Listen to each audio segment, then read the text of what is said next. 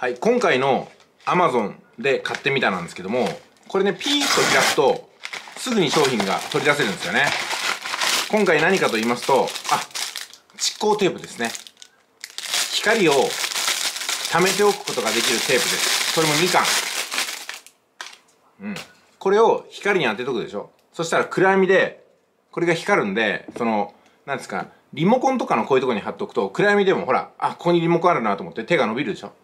今までね、こう、夜中に目が覚めて、ああ、ちょっと、エアコン効きすぎて寒いなって時に、あれリモコンどこ行ったかな？みたいな感じで探して、ないから電気をつけるか、もしくは、なんか探してるうちに目が覚めちゃったみたいなことがあったんでね。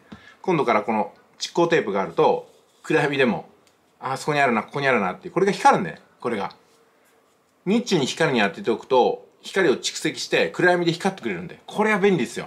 蓄光テープ。1個ね、300円ぐらいだったと思うんですよ。2つで600円ぐらいだったかな。まあ、2つで1000円はしない金額だと思います。Amazon で買ってみてください。すごく便利ですよ、これ。ね。ゆっ、ゆっ。Vlog カメラいいですね、これね。ほら。ピントがこっちに合うでしょこっちに合うでしょこっちに合う。合ってないか。あった。ありがとうございます。